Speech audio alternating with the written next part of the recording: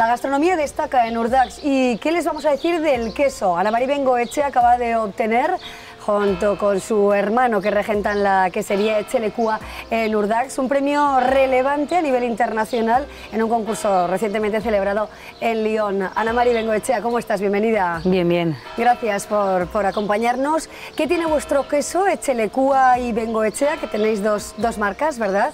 Que lo hace imprescindible en una, en una mesa, ¿por qué no decirlo? Bueno, se ve que, gusta a la gente, entonces pues, y luego decir que como elaboramos nosotros, pues siempre intentamos hacer todo con mimo y con buena calidad. Así es, una explotación que tiene unas 500 ovejas, ¿verdad? Sí, así es. Mm, que pastan en estos maravillosos campos.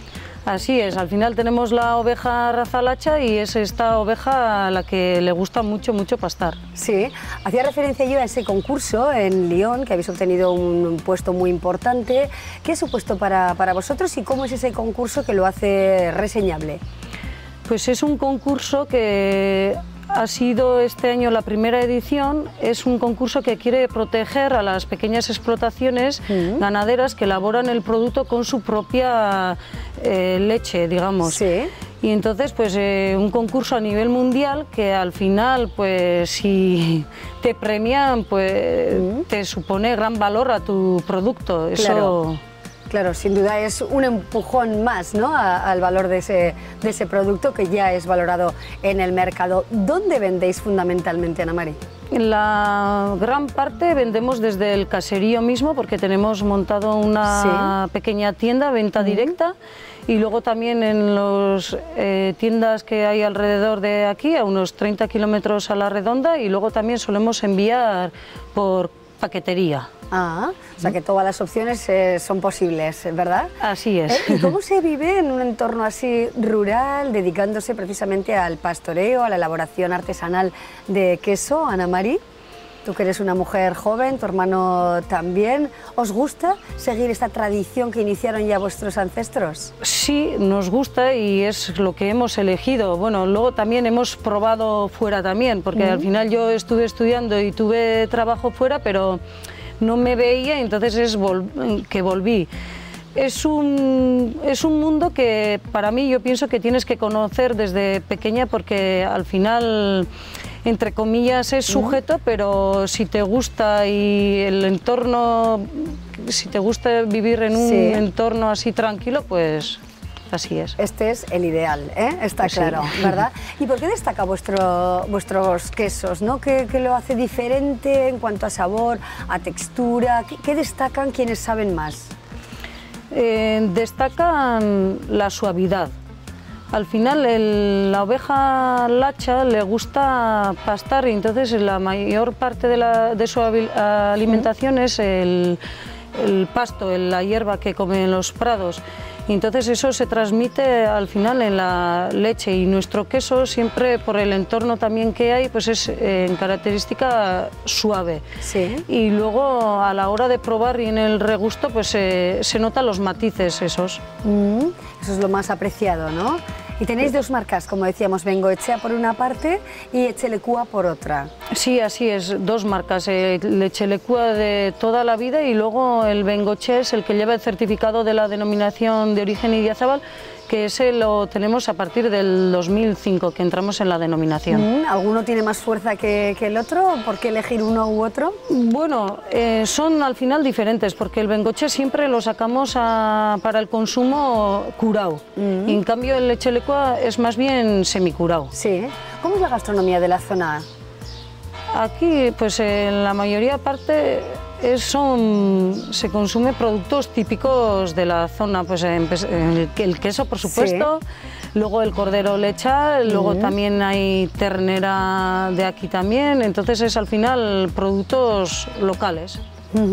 Eso es lo que más aprecia el turista cuando viene aquí, porque la gastronomía es un capítulo muy importante en Urdax. El turista lo valora especialmente. Trabajáis en ello precisamente para que el turista se quede satisfecho no solo con el entorno, los senderos, las posibilidades de hacer rutas a pie, en bici, sino que coman bien, que cenen bien, que desayunen bien. Eso es importante siempre, ¿no?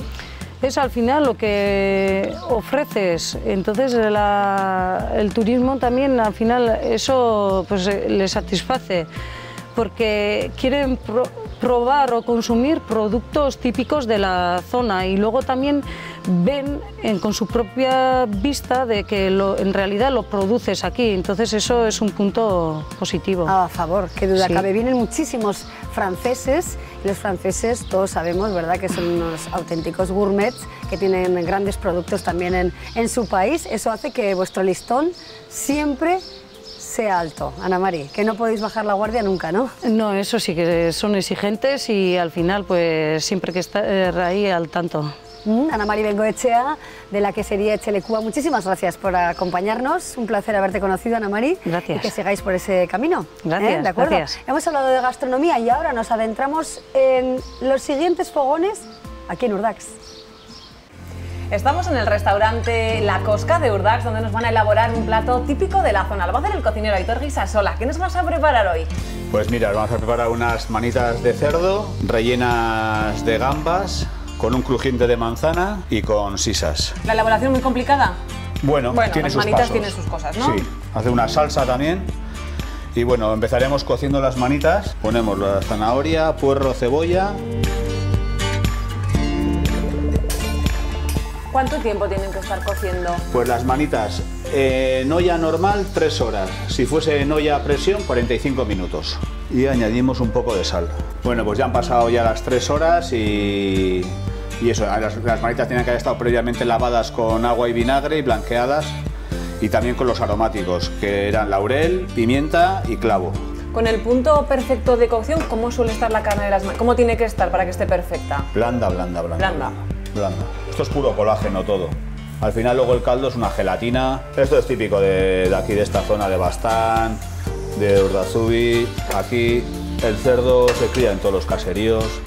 Casi todos los caseríos crían un cerdo y luego se mata para Santo Tomás. Pues aquí tenemos las manitas ya. Y ahora empezaremos a deshuesarlas. Para eso nos pondremos unos guantes y en caliente hay que hacerlo porque en frío es mucho más difícil. Sí, ya quedaría una vez que hemos desmigado las manitas. Ahora pasaríamos a envolverlas en papel film y a rellenarlas con las gambas. Para Es una receta un poco diferente, ¿no? Para ser manitas. Sí, sí, un poco más elaborado, no lo típico. Darle un, una, un poco Una una, vuelta. vuelta. sí. Cortamos el papel film, extendemos las manitas y le colocamos las gambas. Que ya están cocidas. ¿Qué tal mezcla hace las gambas y las manitas? Rica. Muy, sí, a mí me gusta. Giramos un poco el papel film, envolvemos y hacemos un rulo. Hinchamos un poco para quitar el aire. Y esto habría que tener en la cámara, en la cámara durante unas 12 horas. Ya hemos sacado de la cámara y se ha quedado duro, duro, que es lo que hace el frío, ¿no? Que endurezca las manitas con las gambas. Y aquí tenemos el bloque. Quitamos un poco la punta y hacemos como unas lonchas como de centímetro y medio, dos centímetros, que luego las pasaremos por harina, huevo y pan rallado.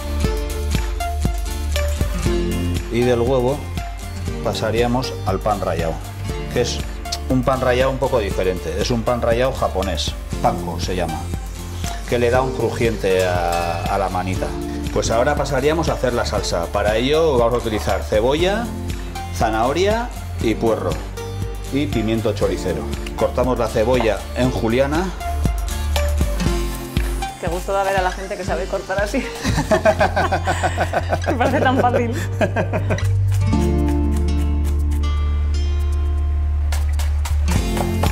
Pondríamos a pochar.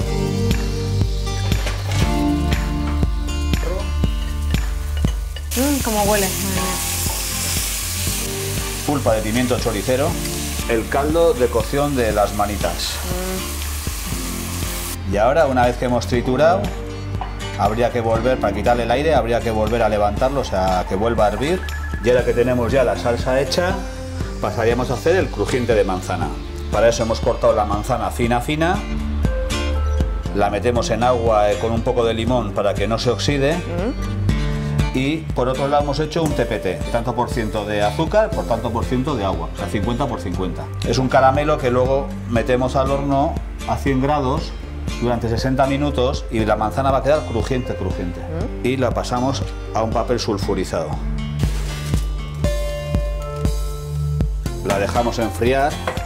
Bueno, pues ahora pasaríamos a, a freír las manitas. Saltaremos las sisas, que son producto de temporada, que ahora acaban de salir, con todas las lluvias que hemos tenido este año, están Ahora un montón, saliendo. ¿no? Además. Sí, sí, sí. Un par de vueltas. Y ya está. Y ahora ya solo queda emplatar, ¿no? Eso es. Con la salsa que hemos hecho, ahora pasaríamos al emplatado. Que quede bonito. Eso es. Haríamos una especie de lágrima, pondríamos las manitas, los crujientes de manzana, que le den un poco de volumen, las sisas. Ya tiene unos- trabajo este plato, ¿eh? Sí. Madre mía, y horas. y unos pensamientos y unas clavelinas que le dan un poco de color. Recién cogidas, además. Sí, ¿no? sí, sí. Todo lo que se pone en el plato es porque se puede comer. Eso es. Y así quedaría nuestro plato.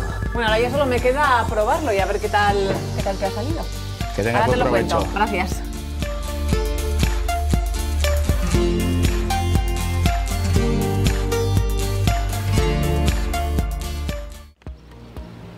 Excelente la gastronomía de Urdax Urdazubi y por supuesto, ¿qué vamos a decir de las eh, cuevas de Urdax, las cuevas de Ikaburu? Su responsable, Goyo Walde, está con nosotros. ¿Qué tal, Goyo? ¿Cómo estás? Hola, ¿qué tal? Gracias por acompañarnos. Y nos tienes que acompañar a las cuevas. ¿Por qué no debemos dejar de visitar estas cuevas de Urdax? Bueno, eh, estas cuevas, ya lo decía el gran eh, espeleólogo francés Norbert Casteret, son muy bonitas. ¿eh? Yo creo que lo básico de estas cuevas es que son muy bonitas de ver, son agradables, generan una sensación en el Sí. interior. Entonces, bueno, yo creo que todo eso, ya solo con eso es suficiente. Claro, ¿podríamos aportar algún dato histórico? ¿Cuándo surgen? ¿Cuándo comienzan a ser visitadas? Eh, ¿Por qué destacan especialmente? Bueno, ya ti- tienen, tienen una, una larga historia, vamos a ver, de ser conocidas. Sí. ¿eh? Ya sabemos que seguramente en esas guerras que hubo con Francia en el siglo XIX ya fueron utilizadas como escondite. ¿eh? Esa sería una de las primeras noticias escritas. ¿Eh? Luego sabemos que estuvo el espeleólogo Norbert Castellet, esto fue en 1930, y ya a partir de ahí ya pronto empezaron a ser, eh, eh, empezaron a ser visitadas. ¿eh? Sí. Ya hubo algún acondicionado pues, pues, pues hace unos 80 años. Ajá. ¿m?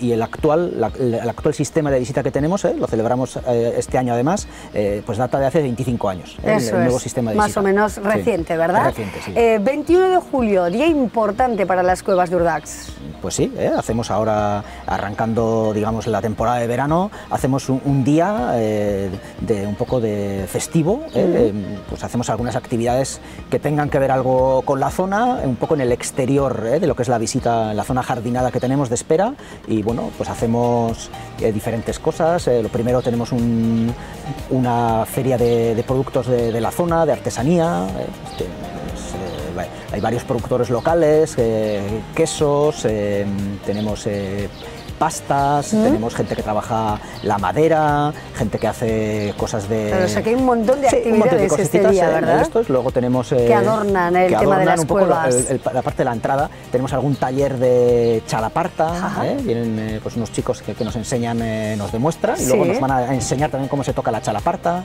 Y luego además tenemos... eh, eh, una eh, demostración de, de- de- de- de producción de cerámica y también de pintura rupestre, un poco pues, bueno, para unir cosas que tienen que ver con un poco en el mundo Claro. de lo que ha sucedido en las cuevas y con la zona. sí. Bueno, diferentes elementos que van a conformar seguro un día eh, bueno, interesante y seguramente eh, abarrotado de gente y de turistas, Goyo. Sí, Intuimos ya- que puede ser así, ¿verdad? Ya, sí, ya, ya, a partir de, de ahora que se han terminado los Sanfermines, pues Sí. bueno, nos empiezan a, a venir más visitantes y la verdad es que es un poco la- el, el pistoletazo de salida del mes y medio más fuerte que tenemos Sí, en la zona. Sí, claro ¿eh? que sí. Eh, ¿Cuánto nos cuesta entrar en las cuevas de Urdax? ¿A los adultos, a los pequeños? Vamos a dar alguna pista en este sentido. Bueno, las visitas que hacemos al interior de la cueva de Icabura son siempre visitas eh, guiadas. Guiadas. Son siempre visitas guiadas y el costo es 6 euros para los adultos, Sí. 3 para los infantiles. ¿eh? Los menores de 5 años no pagan. Sí. ¿Mm? Y bueno, es una visita que dura 40 minutos y en la que tocamos, pues bueno, vemos ese espacio que ya es bonito, ¿eh? ya solo el espacio ya es bonito, ya merece la pena, pero bueno, luego hablamos además, pues hablamos de mitología, eh, que siempre es un tema que tiene gancho, Claro. y que y hay, hay hay muchas leyendas aquí en la zona, hablamos de, de esa época histórica, también hablamos de la prehistoria, hablamos de los animales que viven en la cueva, bueno, son cosas que gustan a, Cuando a menos. todos, a mayores y a pequeños. es, interesantes, ¿verdad?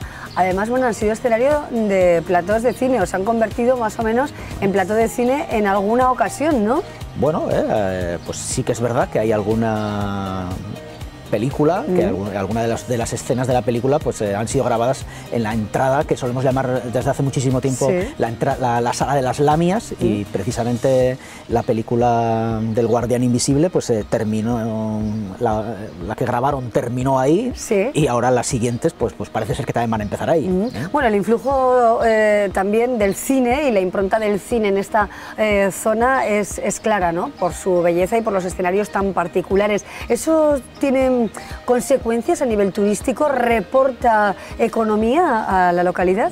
Yo pienso que sí, yo pienso que sí, yo pienso que sí. ¿eh? Yo pienso que sí, el fenómeno de- del, del guardián invisible y también eh, el de las brujas de Zugarramurdi, estas dos últimas películas, yo creo que, yo creo que, que- que han generado una afluencia extra en la zona. sí. Bueno, hay muchas historias en torno a la cueva. Cuéntanos alguna, brevemente, Goyo, la- aquella que bueno, deja a los eh, turistas así sorprendidos o eh, bueno, admirados quizá, ¿no? Bueno, yo so- eh, eh, contaré lo que comentamos al ¿Mm? empezar la visita a la cueva de Caburúa. eh.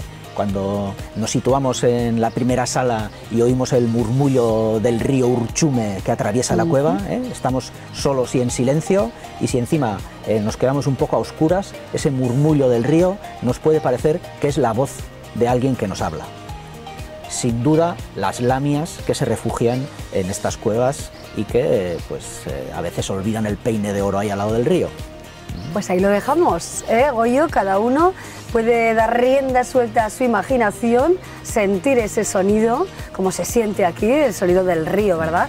En esta localidad que es Agua y Puente, su nombre lo indica, Urdazubi, y bueno, y luego ya pues disfrutar, ¿no? De, de todo ese imaginario popular, de la historia de las brujas, de las lamias, todo eso, ¿no? Que envuelve a este pueblo. Goyo, muchísimas gracias. Pues muchísimas Un gracias a vosotros, ¿eh? Veros, de verdad, Muy bien, gracias, muchas gracias. Por, eh, por estar aquí siempre con nosotros, con Navarra Televisión. Hacemos una mínima pausa y seguimos contando otras historias. La naturaleza y los montes de Urdax nos embargan por su belleza. Cecilio Sansinena está con nosotros y nos va a llevar de alguna manera por los diferentes senderos homologados y balizados que tiene esta localidad. Cecilio, ¿qué tal? Bienvenido. Hola, ¿Cómo buenos estás? días, bienvenidos a Ordaz, Omitorri Gratuidad. Es que ricasco. La verdad es que es una zona paradisíaca y también para los deportistas. ¿eh? Tenemos múltiples senderos eh, de tres horas, de dos horas y media en el Monte Azcar, en Ochondo, en Urdax. eh. Cuéntanos un poquito qué recorridos podemos llevar a cabo aquí. Sí, bueno, aquí viendo la demanda que había de, de la gente que venía aquí a visitarnos y así, veíamos que había una demanda de, de viendo el paisaje que tenemos, que querían visitar y conocerlo, mm, viendo que había esa demanda, pues mm, decidimos que, que había que hacer algunos senderos. Bueno, hay muchos senderos que se pueden visitar por el monte, se pueden hacer muchísimos, pero bueno, a la gente que no conoce, pues habría que guiarlos y hicimos unos senderos balizados que homologamos en la Federación de Montaña de Sí. Navarra. Y tenemos circulares, tenemos cuatro senderos aquí mismo. Tenemos un sendero que sube al monte Azcar, que está ahí arriba. Eso es, que es el monte que tenemos aquí tenemos enfrente, arriba, ¿verdad? Que se ve, tenemos unas vistas muy bonitas del Sí. pueblo de arriba. ¿Qué altitud tiene este monte? Bueno, aquí estamos bajos. El Burdas está a 90 metros y el monte Azcar estará, creo que son 390 metros de altitud. Ajá. De Pues ahí tenemos un sendero de cuántas horas? ¿Más o menos? Eh, bueno, son senderos pequeños. Hicimos senderos con vistas a gente que no tuviese mucha costumbre de andar Sí. por el monte. Era más bien de, de visitar y disfrutar el paisaje, no de andar en el monte. Entonces son senderos que duran por media sin parar unas dos horas y paramos unas dos horas y media, Sí. más o menos. Claro. Luego otro, ¿no? Urdax Sí. o Ochondo Aldea. Tenemos ¿Por dónde nos el lleva? otro, el que te decía, este que sube a Azcar, ahí tenemos unas vistas magníficas de Ordaz y de la costa, se ve hasta la costa cuando está despejado como Sí. hoy. y si no tenemos un sendero que va hacia la zona de Ochondo, el puerto que va a la que separa Ordaz con el Valle Bazán. Sí. Subimos hacia, hacia el puerto de Ochondo y volvemos a bajar a Ordaz cogiendo eh, un, tramo del camino de Santiago Bazanés que pasa Sí. por aquí. Claro. ¿Mm? Y también entre Urdax y Zugarramurdi. Exactamente, tenemos otro sendero que este está un poco mm, menos utilizado, vamos a decir, porque está lleno de maleza, pero bueno, se puede hacer. Yendo por las cuevas de Ordaz, se pasa hasta Zugarramurdi, se puede visitar Zugarramurdi y se vuelve después por el monte, por ese sendero, se llegando otra vez a Ordaz, circular también. Claro. ¿Y qué me dices del rincón de Ashular? El Rincón de Axular, eso es un sendero que lo, que lo creó eh, nuestro amigo José Miguel del Hostal Irigoyenea. Sí, con el que hemos charlado que ya. hemos charlado con él, Mm. vale. Pues estuvo él haciéndolo, él solito, los demás le hemos ayudado en los otros senderos, pero él tuvo el mérito de hacerlo eso, porque es además un sendero muy bonito. Pasa por aquí, sale de aquí de Ordaz, pasa por todo el barrio de Iribere y después va a, a la casa Axular, que es la casa natal nativa del- de, de Axular, el primer escritor en lengua vasca. Pedro de Ashular. Pedro ¿verdad? de Axular, Mm, eso aquí lo es. hemos visto nada más entrar eh, a Urdax, a la derecha, ¿verdad? Efectivamente pasa- nos indica Pasa por ahí, esa zona. después sigue por el monte y llegamos, pasamos por el roble centenario, que no sé si Sí. alguien nos ha hablado de él. Mm, Háblanos un poquito de ese roble centenario. Es un, está en, en la ladera del monte Argandoita y es un gran roble muy hermoso, ¿eh? con unas ramas muy, muy espectaculares, vamos a decir, y que es muy bonito de ver, la verdad. Y pasa, el sendero pasa por ahí, visitamos a Sular, visitamos el roble, es muy bonito ese sendero. Y muy fácil de hacer porque el desnivel es de no llegar a los 50 metros o 60 metros de desnivel, siempre un recorrido de dos horas, dos horas y media no más. Los otros recorridos son un poco, con un poco más de desnivel, pero son accesibles a todo el mundo. Quizás no a los niños, pero bueno, son accesibles Sí. porque son desniveles de máximo 300, 350 Eso es que no es muy complicado, ¿eh? No, que tampoco no tenemos era la que intención, no efectivamente la que sufrir, sino dar un paseo y admirar un poquito el entorno, ¿no? Eso es, y después si queremos hacer más monte, pues los, los que conocen el monte Sí. y se descargan la aplicación Wikilog, por ejemplo. Claro. Aquí hay un montón de senderos que están subidos a Wikilog. Gracias una vez más a la gente del pueblo que anda en el monte y va subiendo los recorridos. Las rutas, que Las luego nos vienen tan bien a quienes nos gusta la montaña, ¿eh? ¿verdad? Esos tracks que nos facilitan la vida a todos e impiden que nos, que nos perdamos. Bueno, más cosas. Si nos fijamos en el monte, nos quedamos con estos senderos. Pero Sí. ya aquí, en el pueblo, hemos comentado muchos mm, momentos o muchos lugares con especial encanto. Pero las casas llaman muchísimo la atención. Esas casas indianas, con una arquitectura tradicional, también procedente de otros eh, lugares del, sí. del mundo. ¿Nos podemos Sí. detener en alguna de las casas? Sí, bueno, aquí hay varias casas de indianos, vamos a decir. Eh, son casas eh, de gente de aquí que fue a, por necesidad, fue a trabajar al, al otro lado del charco, a América, y después allí a base de trabajar y trabajar se Sí. enriquecieron, volvieron aquí y para hacer ostentación de esas riquezas hicieron unas Sí. casas vamos a hacer Majestuosas, señoriales, señoriales. eh, un poco inspiradas en las casas coloniales americanas, se inspiran un poco en ellas y bueno, tienen, son características, son casas más o menos cúbicas, eh, bastante ornamentadas con piedra, con cornisas, aleros de piedra, vanos, entorno de vanos de piedra tallada, Sí. incluso columnas, son muy bonitas, sí.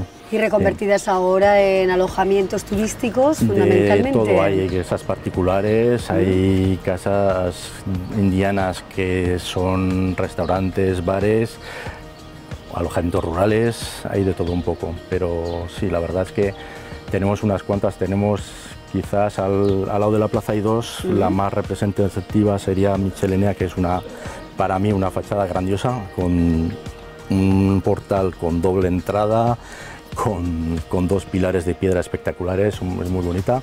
Después hay otra que está al lado del canal, enfrente del canal, que también es muy bonita, con mucha piedra. Y después ya tenemos las otras que son quizás un poco menos ostentosas, pero también son del estilo indiano. Las casas y el canal, el agua, que tanto suena y resuena aquí en Urdax, Sí, ¿verdad? De ahí el nombre en euskera, Ur Dazubi. Ur Ur es agua y Zubí son puentes. Así tenemos es. tanta agua que tenemos muchos puentes también. Mm, es cierto que es un sonido relajante el del agua, Sí. los pájaros, eh, la tranquilidad que se respira aquí, algo muy valorado por quienes os visitan, Cecilio. Sí, señor. Como anécdota, estuvimos, estuvo una señora en nuestros alojamientos rurales la semana pasada y cuando se iba nos dijo, no me quiero ir. Aquí se está muy bien, se está muy relajado, se oyen los pájaros, estamos muy tranquilos. Eh, sí, sí, la verdad es que tenemos la suerte de tener eh, eso, eso que no se puede explicar, vamos a decir con palabras, pero que es muy relajante y muy tranquilo. La gente de, de ciudad que vivimos siempre Sí. corriendo y lo, lo aprecia mucho. Sí. Se siente una energía muy especial en este pueblo y lo comprobamos cada vez que, Mm. que venimos, cada año que venimos aquí a hacer el programa. Cecilio, muchísimas gracias por A estar con nosotros.